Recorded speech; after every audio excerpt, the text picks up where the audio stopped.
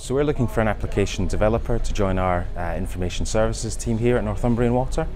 The role of application developer is one that will work within the team to develop new applications. Uh, we're looking for someone who's got good SQL development skills, um, someone who's an experienced programmer but equally can understand the needs of the business. So we work with a range of applications. Uh, we have uh, works and asset management systems, mobile workforce management systems, uh, billing systems.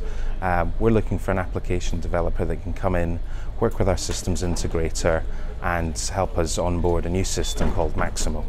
We're looking for someone who's keen to learn. Uh, we recognise that not everyone has the, the skill set that we demand coming into the business.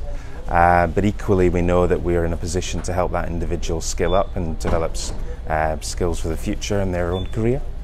For anybody interested in the role, we'd be really keen to hear from you at nwl.co.uk forward slash careers.